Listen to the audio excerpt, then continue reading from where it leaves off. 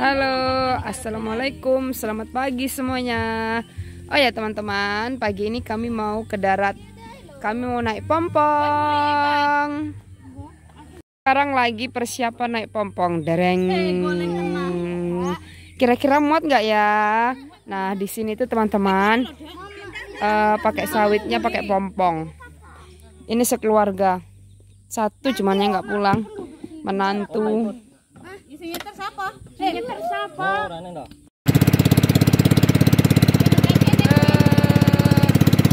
naik pompong guys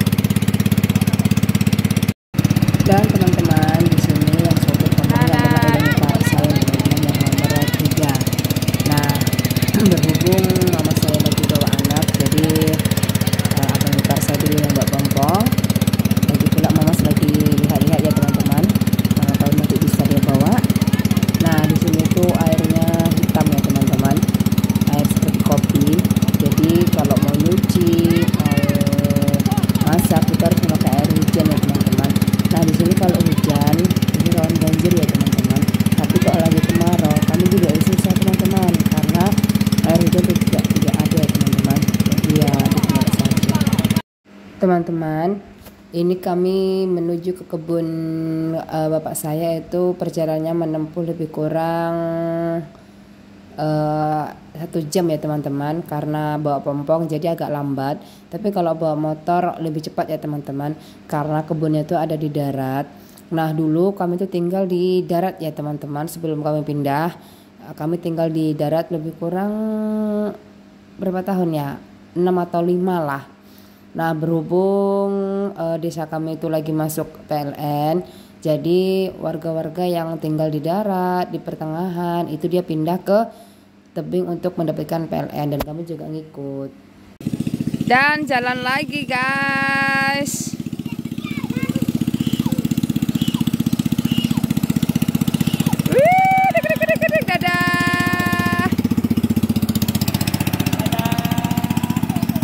Karena dekat rumahnya jadi kami jalan ya guys. Seru lebaran pakai pompong. Karena setiap hari hujan. Lihat teman-teman ini baru aja selesai hujan.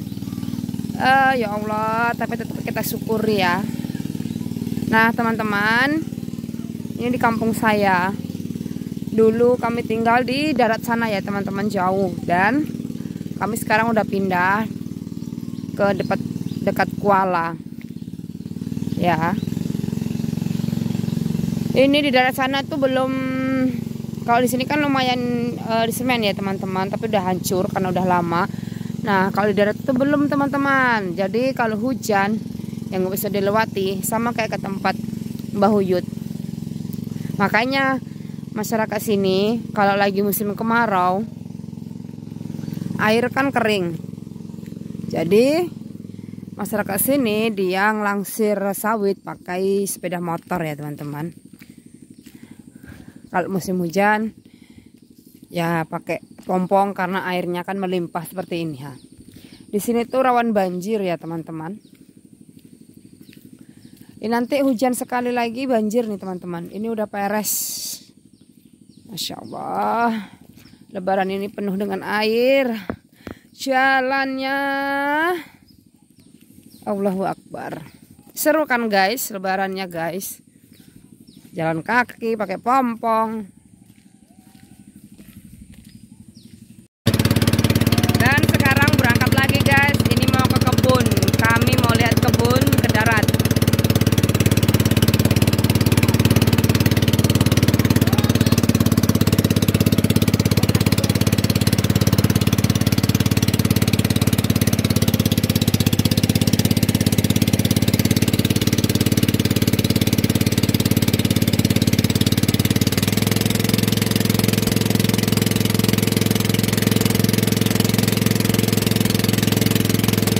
Nah, teman-teman, di sini saya itu lagi mompa air ya, teman-teman, karena pompongnya ini sedikit bocor. Jadi kalau nggak dipompa takutnya nanti tenggelam kami. Jadi karena saya duduk di belakang tempat uh, pompanya dekat, ya udah saya yang mompa ya, teman-teman, biar nggak tenggelam.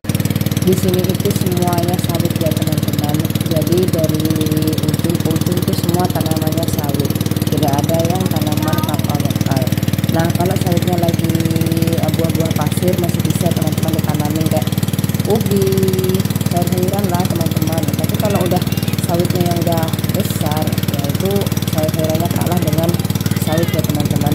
Makanya di sini tuh kalau sayur eh, langka banget. Sayur harus ke pasar ya teman-teman. Karena nanam pun kalau di tebing daerah saya tinggal itu udah kena banjir ya nggak bakalan hidup ya teman-teman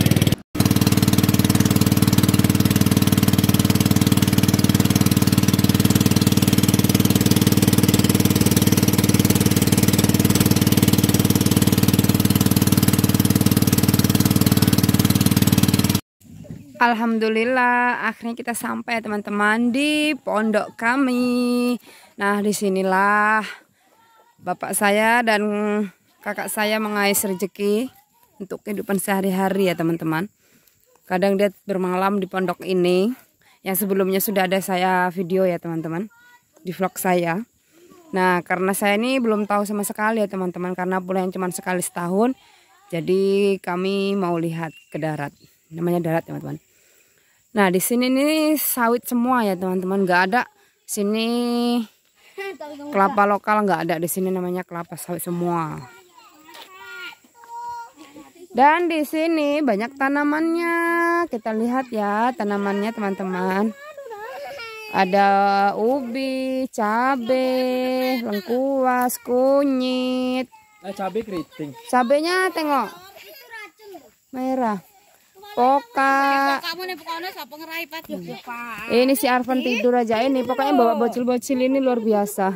Anak saya ingusan terus. Apa itu? Matoa. Ah, itu ada labu. Siapa yang nanam ini?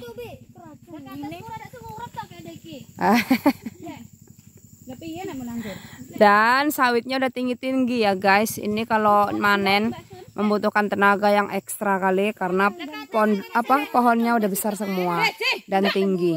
Jangan. Wow. Seru ya guys kalau di kebun. Pak ya.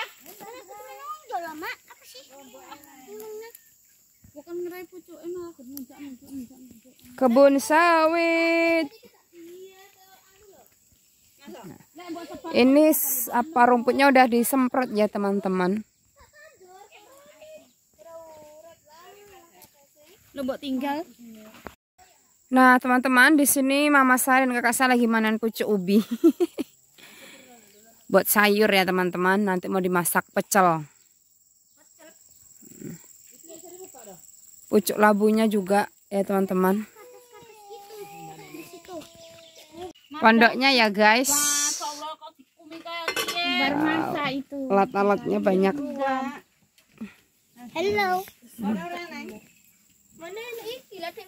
Hmm. Pondoknya. Op. Oke teman-teman, sudah selesai ngambil sayur, saatnya kita pulang. Dan pulangnya juga naik pompong lagi ya teman-teman, seru. Kalau naik motor bisa, tapi karena hujan, jalan becek, ya udah kami memutuskan untuk naik pompong aja. Satu keluarga ya teman-teman. Nah teman-teman, di sini kami lagi persiapan untuk naik pompong kembali ya teman-teman. Oke, kita pulang ya guys.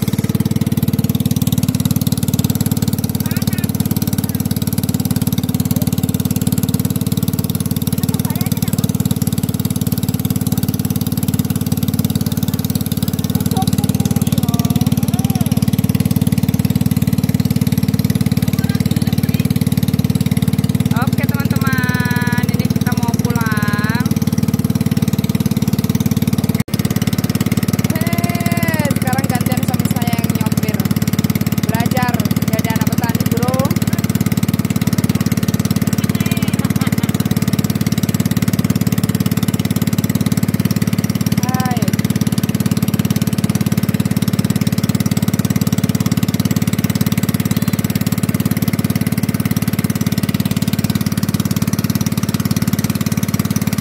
Teman-teman, sekarang kita sudah sampai di rumah kembali ya. Wah, panasnya luar biasa. Rumah di sini nih panggung ya, teman-teman. Jadi hanya satu dua rumahnya yang dibangun. Selebihnya rumah panggung papan. Oke, terima kasih teman-teman sudah menonton video saya. Assalamualaikum.